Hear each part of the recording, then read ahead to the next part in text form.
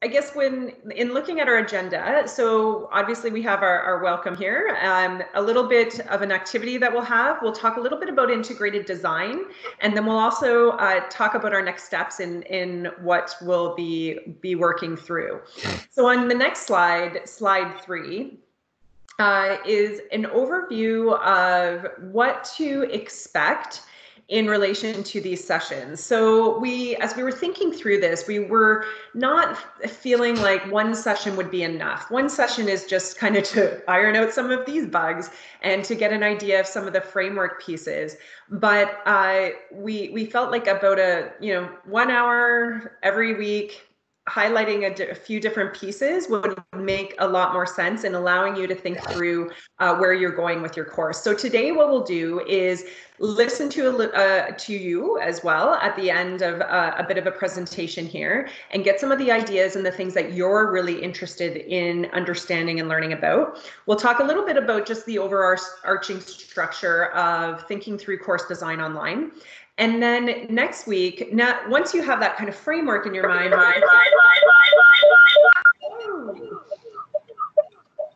little echoey there. Um, so once we have done that, uh, we'll also go into idea generation. So thinking about examples from other courses, uh, lessons learned and learned and tips and tricks together with moving down into now you have some ideas. What does that actually look like in a course? And then solidifying that approach going forward and identifying, okay, what do I still need to know? Who do I still need to contact to make this happen so that we can work with you over the rest of the summer to get these courses up and going. But fourth year classes, obviously, as I said, is very near and dear to my heart. And so um, I know for me, and I, I'm sure I'm not alone, thinking about the way in which I've designed my courses, which is here, do a bunch of readings, do a few activities, come to class, and I don't lecture, we just talk and we go through the content and really dive into it deeply. I've really had to reframe and rethink of how, how I do that. So I hope that we're able to work through that here together in the next few weeks. Uh, so on the next slide, I'll have Mark show you uh, a little bit of one of the activities that we can do uh, with a class. Right. So um, as I mentioned a little earlier on, uh, we are, or we, we should be able to actually interact with uh, the slides that are being presented to us here in a way that may have been difficult in past with um, somebody showing us a PowerPoint on a, a video conference or in, in the front of a room.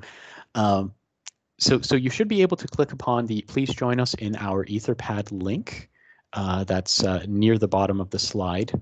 Uh, and you, you, are very encouraged to do so, in fact, because uh, this will allow um, everyone who's here today to uh, contribute uh, and as well help us understand a little bit about what what your hopes and dreams are around what we're able to achieve in these sessions, and to get a sense of the specific courses that that you've got ahead of you. You are, after clicking upon that link, prompted to uh, choose how you'd like to access the, um, the collaborative document or the Etherpad. Uh, do feel free to log in honestly with whatever ID you would like. Uh, the easiest way in could simply be the first part of your Brock email.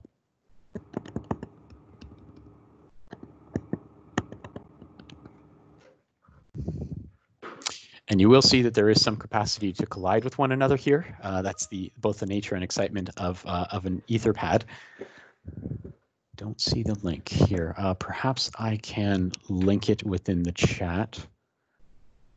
Thanks for letting me know, Brackett.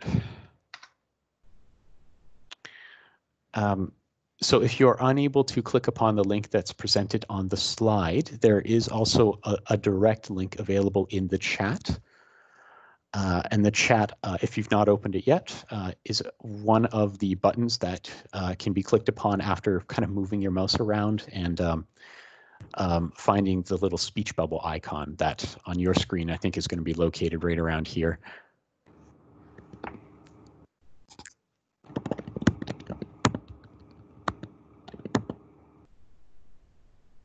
So this is a tool that um, I have looked at and thought through how do I use this almost as like what I would do with a whiteboard in my classroom. So oftentimes I have my students come in for the first part of the class is 15 minutes of what were your key learnings, write that up on a board. Uh, what were your biggest challenges in your project this week? They write that up, and then we have a discussion about that. So this might be a way in which, in your fourth year class, to just get that conversation started. If you were to do a, some level of uh, one hour synchronous um, situation with your students, pull up this Etherpad and get going. It is pretty quick if you go over to the right hand side, you can see the a little icon with the people. And if you click down, you'll see who's what color. So uh, some of the colors sort of collide, like uh, Mark has said, but mm-hmm. um, you can definitely see who's writing in there and what people are kind of talking about and use that as a really quick way to have a discussion uh, with somewhat of a bigger team. Mm-hmm it's um, an early and somewhat open source and stream, streamlined uh, take on uh, Google Docs or Word Online or or that kind of a of a technology offering, and it's it's been quite handy amongst some communities, including uh, the Sakai community, as it happens uh, for our little mini meetings that we have several times monthly. So Mark, can you tell us a little bit about how this is linked into Sakai and into a course? So what would an instructor need to do to get that type of uh, link? Just a quick overview. Appreciate that, Madeline. Um, so Etherpads is, is actually a tool that's been available in Sakai uh, for at least about five or six years now. Uh, it tends to be very handy for uh, collaborative work amongst small to medium sized groups. Um, and I would certainly qualify a group today to fit kind of right in the middle of that uh, that category.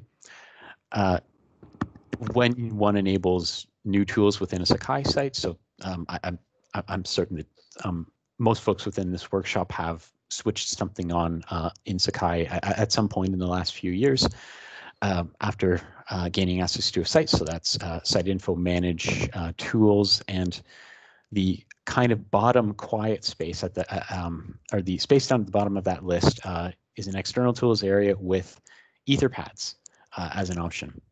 Once that's switched on, it will appear in your Sakai site on the left toolbar. Um, and as the instructor, it will give you the opportunity to very quickly spin up um, etherpads like this, or, or I guess just pads, or uh, however you'd like to describe it. That can be um, strategically shared out to your students or to small groups of students uh, through other tools within your site or simply through the Etherpad tool within Sakai.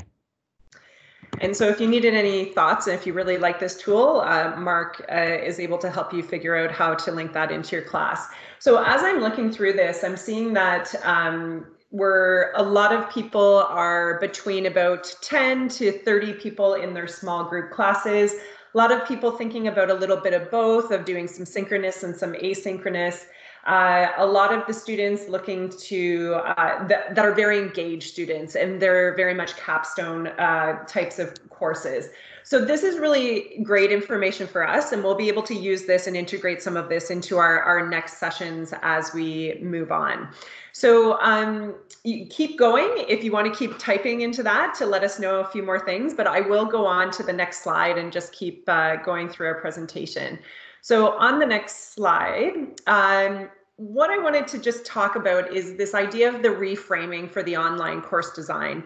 And uh, I think this is a, a, really important piece. It's, it's really hard to just take what we've done and just set it into an online environment. We really can't do that. So we want to be able to think about what are those learning objectives that are really key for our course. We need to reimagine what does that course assessment look like to be able to achieve that.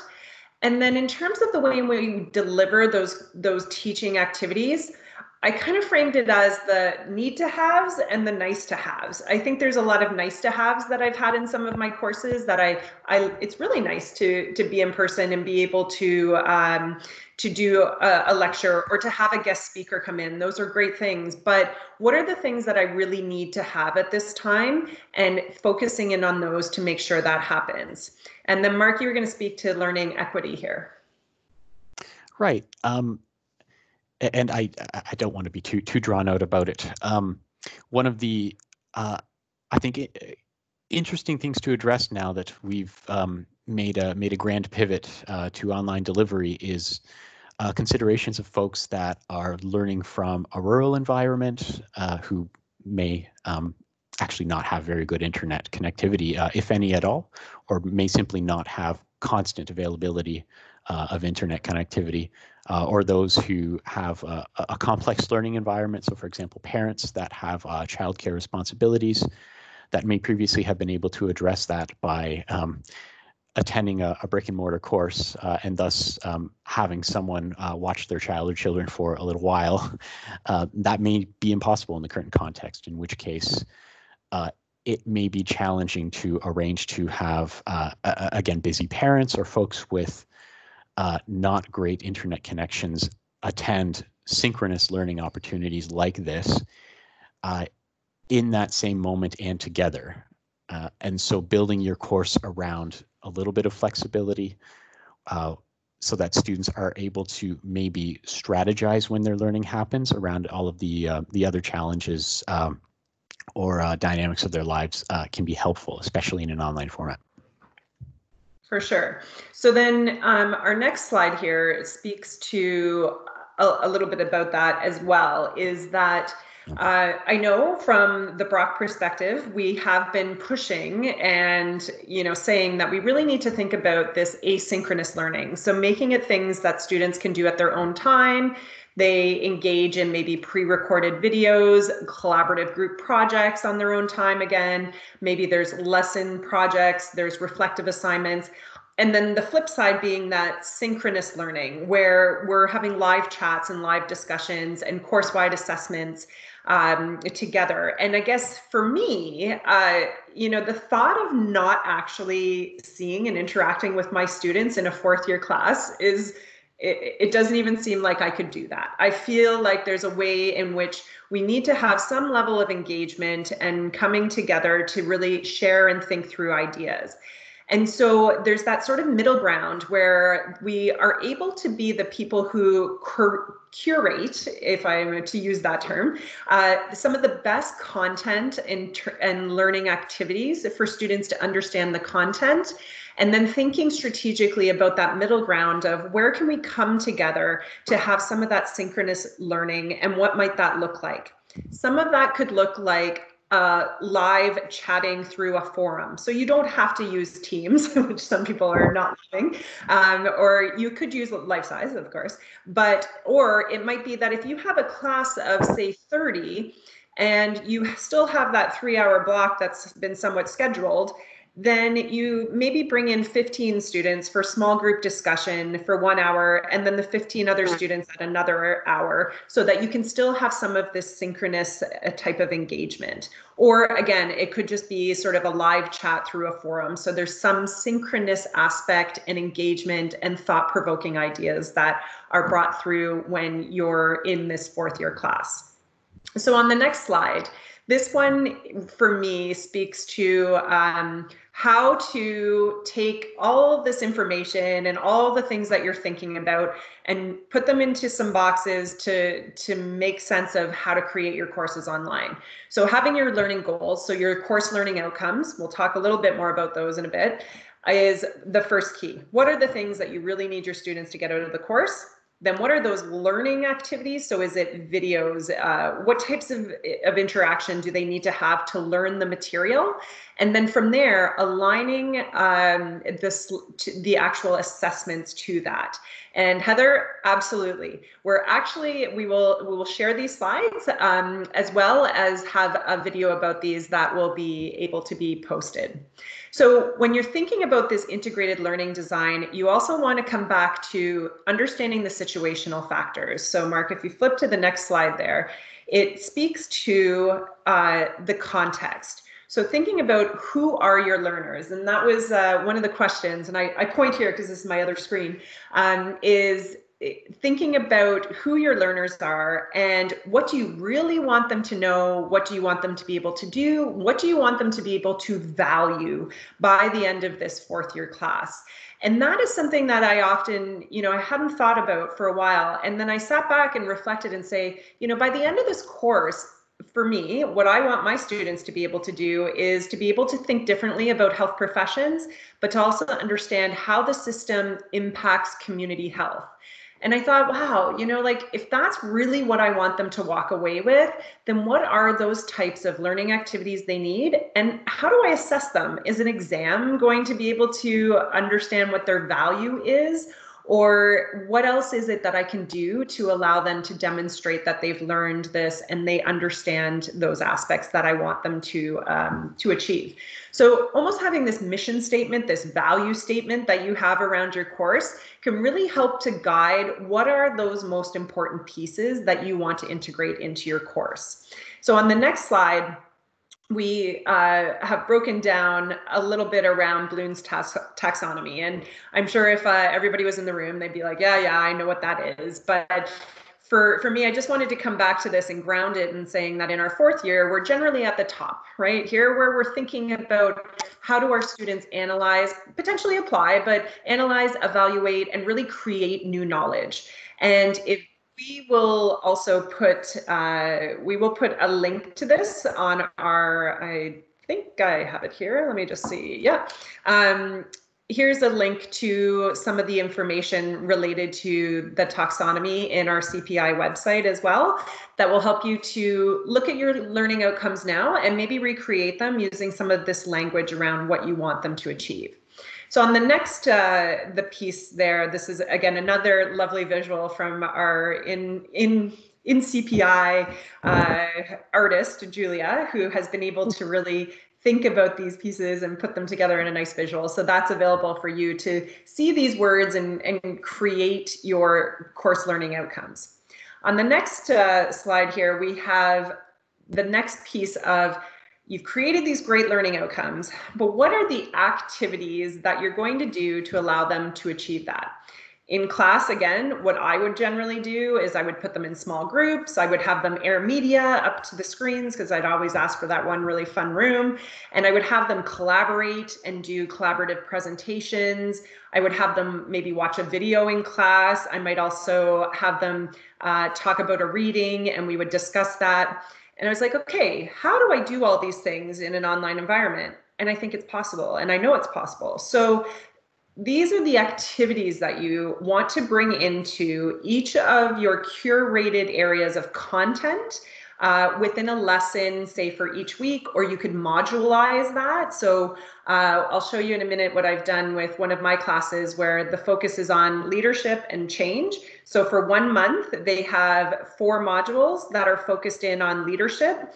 So it's not uh, it, it's not seen as like a, a lecture. It's seen as here's this week you're going to talk about this topic, and I've curated the information I want to, for them to have there. And then you move into the next part, and then at the end of that module, I do an actual assessment. So what are the learning activities? Are the things that you want to think about? And on the next slide, maybe that is where I was going to talk about my uh, course. Is it, Mark? Yes. It is. So here's an example. And if people click on this, can they get to my course, Mark? They, they won't be able to um, uh, because it, it's still yours, but I'm, I'm happy to, um, to do uh, a share of uh, and to show it off a little bit on my screen if that works with everyone. yeah, that'd be great. You can pull it up and I'll just give people a quick overview. Mm-hmm. Yeah. So with this course, it is a um, it is a, a, master's course, but essentially I see it as it's a it's a small group type of class. And the way that I have organized it is through the lessons tab. So if you haven't used lessons, honestly, absolute savior. Love this. Uh, if you click on the intro one, I'll just give a quick overview of that one. So what I did for uh, students, because again, you're not seeing them in person, this is almost that first week of class where you talk about the course outline. And uh, what you can do is you can create these great columns, you can create a really nice checklist. And then as you scroll down, what I did is I always put in a learning uh, objectives.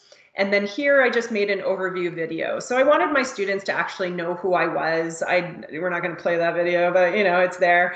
Um, I did a video about this is who I am. This is what my expertise that I bring to this course. And then I also did a piece where I had my teaching assistant, Caitlin Mull, who uh, did a bit of a video as well. And then the course outline was connected there. I did a pre-recorded kind of voiceover piece about uh, what the course was uh, going to be about, just looking at each of the assignments and then broke that down a little further. You can keep going. I think these are just like two minute, really quick videos just to get them going. And then at the end, what I did is I just provided them with a bit of a discussion forum. Do you have any questions? And then tell me a little bit about yourself. And so this allowed the, the class to actually see who was in, uh, in the course. And that was done in one of the forums. And so that for me was really just uh, the first kind of step. If you want to go to one of the lessons that's open there, uh, Mark, and so on the, the left there, you can see all the different lessons that I have. And the ones that are a little bit more bolded are the ones that are actually already open for the students because I curated them in a way that it's like, this is about leadership for this module. So for here, I've done something very similar and tried to keep it kind of maintained in a way that is consistent for the students to go move through that material.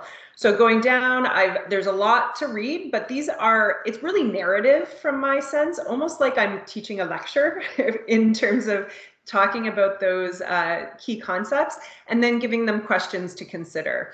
And then at the end, I kind of make it in a different color as well. I think that people see that and they're like, oh, okay, now I know this is what this section does. And these were these are more uh, reflect and thought provoking types of activities that they could engage in. So, this is how I'm envisioning what could be possible in a lot of our fourth year classes is curating the information you want them to see and want them to understand. And then after this piece you're using that individuals could think about okay could i use an actual uh, for, uh, forum to have a real-time discussion or could I bring 10 students together to actually discuss the readings that we uh, were involved in here? So those are the learning activities that we would be doing in terms of trying to uh, create um, the knowledge and the understanding of the topics. So again, this is just a, a, an example of what I've done and how I've sort of set it up to make sense of the material as they move through the semester. And then if you go back, Mark, to our PowerPoint. Okay. Thanks for throwing that up there. Um, has the PowerPoint been regenerated on everyone's screen or are you still awaiting that? I'm seeing you. I don't Just have it. Okay, okay. Um, there are several methods of sharing here um, that uh, I'm there still my mind around. Okay, well, let's catch back up to where we were. There you go. Awesome. So I guess in coming back to that integrated design approach, we have our learning outcomes. You have the activities you want to them to do to understand the material and to engage. And then uh, the next set of the next slide here is about assessment. So I'm going to throw this one over to Mark to discuss the next two slides. Right. Um, so, and, and, actually, I think that this, uh, what we were able to see in Madeline's course, uh, in particular uh, with usage of the lessons tool, allows us to segue a little bit into this uh, quite nicely. Um, and we had a, a, bit of a nerdy discussion, uh, I think, yesterday about the difference between activities and assessment in courses, and we have different opinions about how closely those should be aligned and overlapping. But uh, at any rate, um, there, I, I agree there are some distinctions. Uh, what's handy is that a lot of the assessments that that may have existed in courses before, uh, in particular uh, third and fourth year and grad level courses, uh, can certainly still be uh, undertaken in ad- in in a fully online environment. these are some some fairly high level examples here. Uh, high level meaning they're they're intentionally generic, but uh, I, I do hope to have some time towards the end of our discussion to perhaps explore some Sakai specific examples with all the buttons and toggles and things like that. Um, but I do want to stress, for example, that uh, there are some interesting video assignment options available now in uh, conjunction with Sakai sites uh, and, and, as well outside of Sakai. Uh, doing video assignments on the student side or even on the instructor side uh, in terms of your video creation is quite a bit easier than it's ever been before. Uh, and we're, we're very thankful for that. Uh, we've worked very hard in CPI to find our, ourselves with a platform that we, we both trust and feel is approachable. Uh, there are opportunities for students to blog, not necessarily uh, with external blogs uh, like WordPress um, or um, some of the other more more popular options, but uh, th there are features within Sakai that allow for um, private or semi-private sharing amongst students, and as well there uh, are wiki assignments that can be explored, all within the Brock environment. Uh, certainly, there are lots and lots of options for collaborative group work if you do have a bit of comfort with all of these new technologies that we've very quickly um, been forced to become friendly with, uh, Microsoft Teams is an excellent collaborative space for small groups. That's uh, something that I'm, I'd be very happy to speak with you with if you'd like to explore it for student work. Um, does require a little bit of support though, of course. But there are spaces within Sakai that uh, may be a little bit traditional, like the forums tool that can work quite well for that, uh, or uh, a, a sort of halfway point, uh, like a little bit of Teams, a little bit of Sakai, and as well a, a little bit of allowing students to choose their own um, external service that they still prefer to communicate uh, within, and that that could certainly be Snapchat, Gmail, and, and so forth, uh, giving students the ability to make those choices on their own. Uh, let's not forget high frequency testing in an online environment. That is excellent because it uh, requires a little bit of, I, I, think, upfront work on the instructor side. But once your tests, whether or not you're doing it through the, the testing tool uh, or something different like Microsoft Forms, with a little bit of front-loaded work uh, on, I suppose, on, on the professorial side, students are able to, on a weekly, chapterly, termly basis, uh, whatever, able to check their own understanding of what's been going on as far as uh, knowledge acquisition in the course.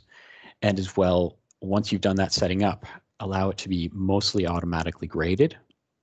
And moving forward, have the ability to use those assessments in future offerings of the course with, uh, of course, with some modifications as time goes on, um, but with a lot of the original bones kind of still in place.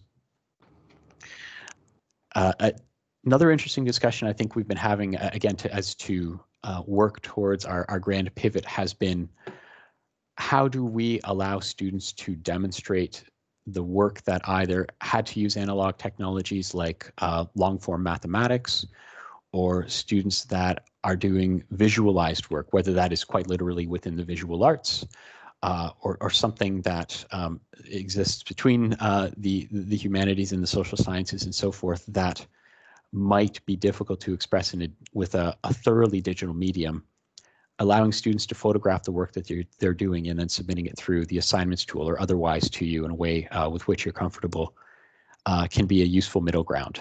Uh, we are uh, certainly making strides in terms of other platforms that are specialized towards this, but for the moment, uh, this might be a handy solution to investigate.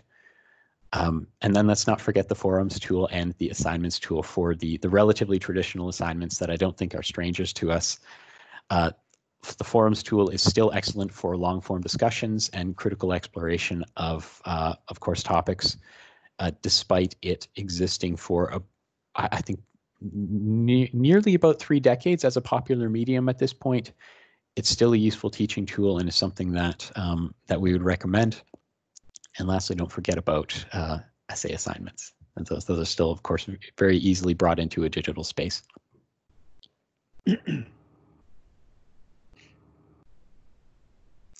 uh, so on the feedback side, and this this slide mainly addresses the the the instructorly or uh, the uh, I suppose marker grader side of uh, of course administration there, you'll note that there is a note here, in fact, uh, that reverses that, that I'm excited to get to. Uh, on the authentic assessment side, so in, in that scenario where students have generated either an audio or a video assignment for you, um, there is good reason to think that perhaps your most genuine assessment of that work may also need to be expressed in an audio or a video format. This, this is um, a step that uh, folks in CPI are happy to help with. Uh, but one thing I, that I would say up front is that, again, that creation of content like this is a lot more approachable uh, and I think uh, is possessing of far fewer steps than it's been uh, in some years. Uh, and I, I do recommend exploring it, I think, in a lot of different contexts. As well, uh, it's interesting to explore on a weekly basis, in particular when you're forced to interact with your students in a fully digital environment, the opportunity to create a short video uh, posted to the Sakai site or whatever space you're choosing to uh, to, to offer up um, your your course's content or to communicate with students. Uh, a weekly check-in that allows students to see you, understands that uh, there, there is in fact still very much a human being on the other side of this course, uh, and to address what's gone on specifically within that past week or that past um, subject or chapter within that course. Uh, and when handy, in fact, even to refer to some aspects of discussion that have gone on and to refer to, uh, to students by name. Uh, this has really shown um, to help students feel an instructor presence within the course, to feel that there is some legitimacy to the work that's gone on. Uh, let's not forget about peer evaluation. There are uh, a number of different ways to undergo that. There is, uh, and I, I, think just to call out the attractive nuisance that does exist, there is a tool within Sakai and the assignments tool called peer evaluation. I do not encourage using that tool. Uh, my apologies if you've explored it temporarily. It is, it, there's a transparency problem with it that uh, I, I, don't think is very handy. Uh, that said, there are lots of interesting options within the lessons tool, in fact, to facilitate peer evaluation. Uh, and there are more, I think, traditional ways of going about it as well, like post group project evaluation forms that can be made part of the assignments weighting itself uh, that allow students to relatively anonymously, um, of course it wouldn't be anonymous to you as an instructor of the course, uh, evaluate the work that, that uh, their other group members have done. Um, with a direct connection to the, the bit that I mentioned in the previous slide around high frequency uh, testing or assessment, uh, there is, I think, some advantage to relying when appropriate on automated grading that can exist uh, in particular within the tests and quizzes tool within Sakai. Uh, and as I noted before, Microsoft Forms can also undertake uh, relatively quick and um, I think fairly streamlined and dynamic feeling tests uh, and uh, graded automatically for you. And there are lots of textual feedback options available within Sakai, as you may have experienced if uh, communicating with students in other formats like email. And I think that there are lots of contexts where that can still make sense and in fact can perhaps feel more communal. Uh, that can still be an option.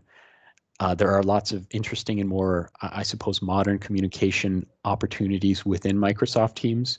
If that is um, a bridge you'd like to travel across, we're happy to go there with you, uh, although There'll be lots of questions beforehand. Uh, and then lastly, and this I think has been an interesting opportunity, in particular in an online environment, is the opportunity to um, solicit formative feedback from your students about how the course has been going. Uh, we're in an online format, giving students a very approachable and quick opportunity to anonymously evaluate how the course has gone for them so far might be handy. This can be something as simple as uh, what needs to keep happening in the course, what should stop, and what should start in this course. Uh, and then allowing students to communicate that to you through, uh, again, an anonymous form in Microsoft Teams, or if you are comfortable with uh, Qualtrics, for example, is another option that Brock has freely available. Uh, and you'll note the italics at the bottom of the page. Uh, rubrics are very handy. Educational developers in CPI are very happy to help you uh, develop rubrics for your assignments and as well uh, we've got a number of examples that we're happy to pass on.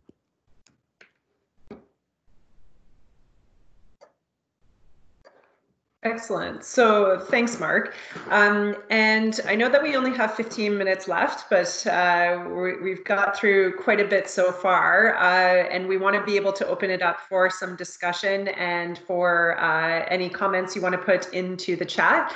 So just as we're we're wrapping up here, the goal today was really just to get you thinking about how do I start structuring and what does that look like and and sort of get the get the wheels turning. The next uh, session that we'll do will be focused in on providing you with more examples, more tips and tricks providing you with those links to things that you need. We're going to be looking through the Etherpad and seeing if there's anything in there that we can pull out and make sure that we we bring in here if there's some themes that people are talking about. Um, so really right now, what I would like to do is just open it up uh, to the group. As you'll see, there is a, a, raise your hand option. So you can see that your hand has been raised and you can lower it as well. Or if you don't want to speak, uh, you're more than welcome to just throw it in the chat, throw a question in the chat there and we'll be able to um, to answer those questions. If you have to sign off right now, I totally understand. Hopefully you've been able to get some good information. And if uh, you decide, obviously, if you're coming next week, tell your friends if you think that it might be something that they would uh, benefit from as well. So I do see that there's a few hands up. So we'll start with Brecca because I think you were first. Go ahead. All right. Okay. And you can see me now too? I guess yeah. not very well. Not very well. Never mind. Okay. Okay, so actually I have two things. One is is technical.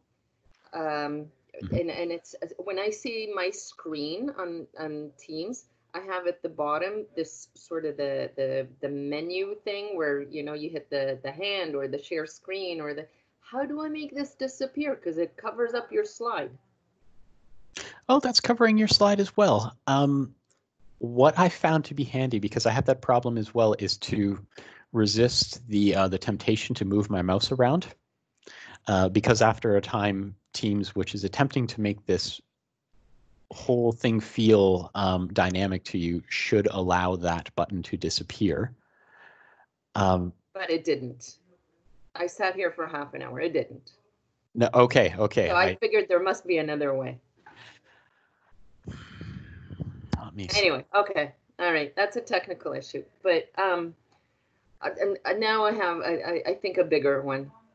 Okay, so I'm going to be honest with you. I I do have some experience with online teaching, more a blended course, and it's fine, and I feel relatively comfortable, although I don't think I've been successful. But I have to tell you that with all these incredible possibilities that you have thrown at us, and this is not the, even the first time that I see many of these possibilities, to me, it is overwhelming. I'm sure for other people it may not be, but for me, it is overwhelming. And I, I know that's not the intention. So I'm going to ask you a question. Out of all these tools and possibilities and options that you have introduced to us, if I asked you to recommend one thing that I should implement in my course in September, one thing, what would it be? So I'll give my one thing, and then I'm going to let Mark give his.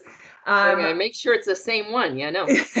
well, it might be different. Maybe you get two things, but I would say my one thing is using the lessons tool to make things streamlined and consistent for the students every single week.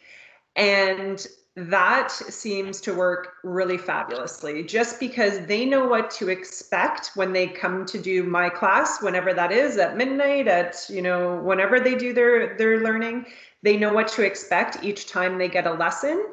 And um, that would be my one big piece is the lessons. And also I'll, I'll give you one other thing though is yes, at some point there has to be some level of not not synchronous but they need to see me as the instructor yeah. somehow. If it's just that intro video and maybe every other week I do a quick little just you know say hey what's going on? This is what I think or something happened in the media this week that links to our course just that, you know, often, not often, but that li- little bit of connection throughout the semester really makes them feel connected. So I'd say lessons and figure out strategically. I do biweekly videos because I don't think they want to see me every week. Um, but biweekly five minute videos uh, is is enough. And I think that kind of interaction is what I've heard from students is helpful. So those are sorry, that's my two things. Mark, you get one now. uh, I uh, being sitting on the knife's blade that I apparently am right now. Um, I will either lean, um, I think, towards one or the other. I, I they're both excellent. Um, and I think just to underscore what Madeline mentioned about um, a, a relatively approachable opportunity to let you show to your students that, that this course is not on autopilot. It's not a MOOC.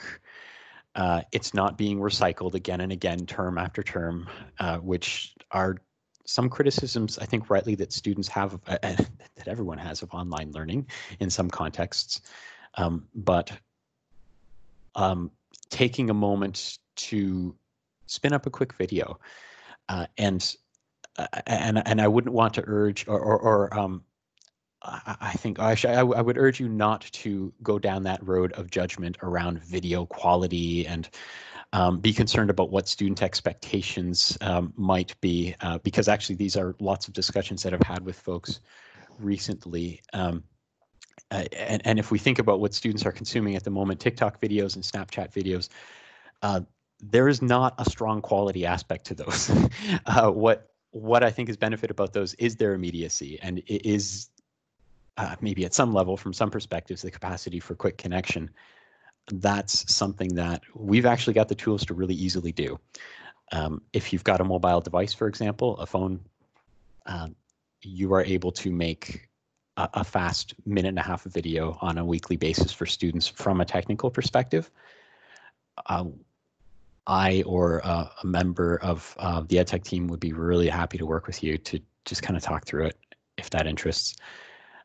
Um, on the other side of that uh, that spectrum, uh, and again, th th this is me underscoring some of Madeline's points. What lessons tool can the the lessons tool or any kind of like online module building thing? Um, lessons is what Sakai offers up, but if you've used other LMSs, it goes by other names. Uh, what we lose in an online environment is your ability to organically be present in the classroom and to steward students through um, in, in, a way that um, that is kind of ingrained. Uh, and I think as as folks who have instructed, um, you you know how you can sense when a student uh, perhaps needs additional input when uh, something needs clarification or if uh, or if the whole thing's going awry. And of course, in an online environment, it's kind of harder to spot that. Um, so adding those for lack of a better term, uh, rails uh, that I think a module can provide will help students self-guide uh, perhaps more effectively, still with some support from the instructor. Uh, so I guess I have to throw my hat behind two things. Sorry, mm. Brackett. Uh, the yes. the second you one see, is? Yeah.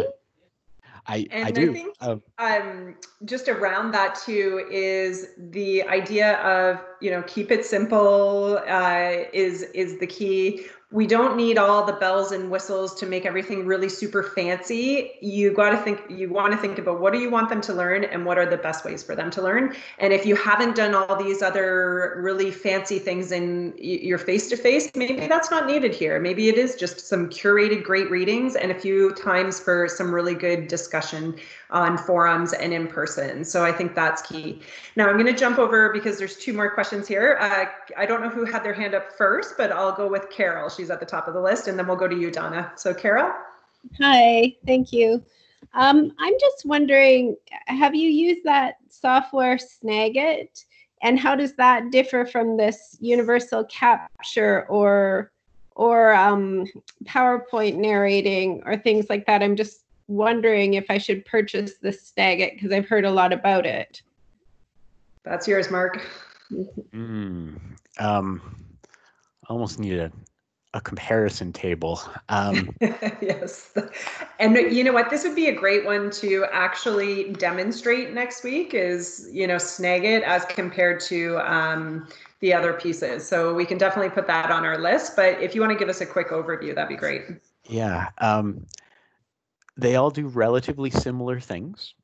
Uh, what I think, as far as what Universal Capture and Snagit have in common, is that they are happy to just record what's on your screen and mm-hmm. as well what you're saying and then turn it all into a video. Okay.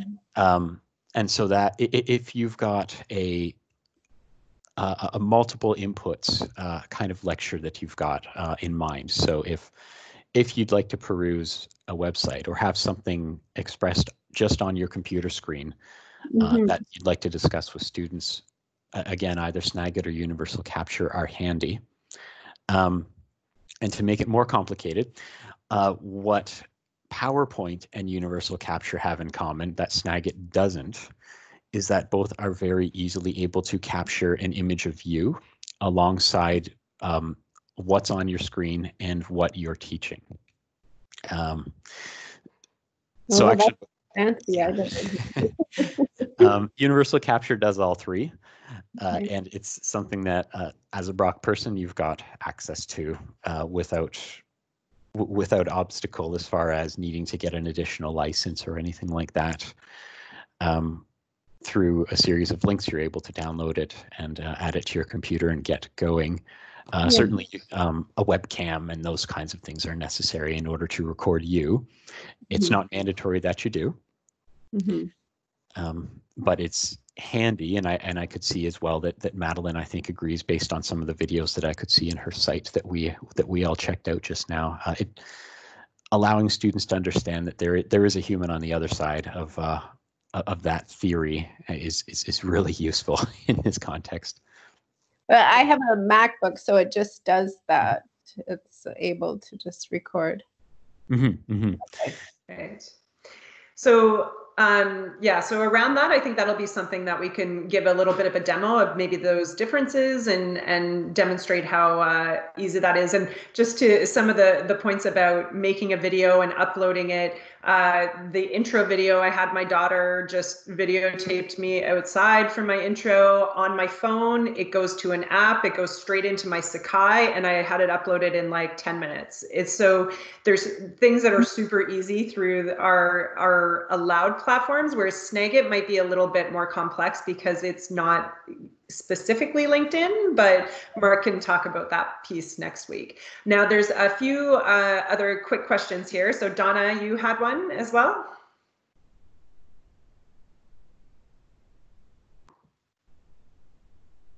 You you might be muted, Donna. Yeah. Sorry, my taskbar to unmute myself disappeared and I don't know why. It's back now. Hi, thanks, Madeline. Thanks, Mark. Um, quick question, Madeline.